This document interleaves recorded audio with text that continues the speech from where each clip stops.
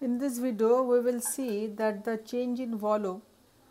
more precisely, the expansion of the volume will cause work done on a system. Now we are having a pot of milk. আমার কাছে এক পাত্র milk আছে I am placing a stainless steel lid on this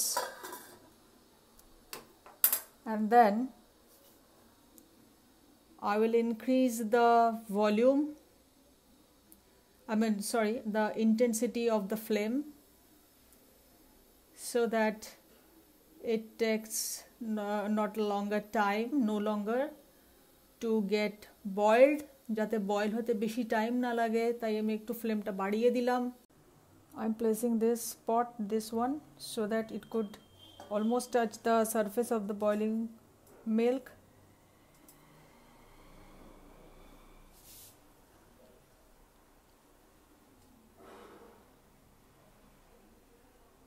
now you can readily see that how the expansion of the fluid is doing work on the system on top of it